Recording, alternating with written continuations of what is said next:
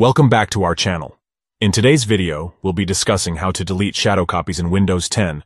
Shadow copies are backups created by the system to protect your files. Deleting them can help free up valuable disk space on your computer. Let's get started. Step 1. Press the Windows key and the R key together to open the Run dialog box. Step 2. In the Run dialog box, type System Properties Protection and press Enter. This will open the System Properties window. Step 3. Now you are under the System Protection tab. Click on the Configure button. Step 4. In the System Protection settings, click on the Delete button.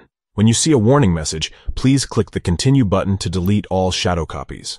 By following these steps, you can easily delete shadow copies in Windows 10 and free up disk space on your computer. Thank you for watching.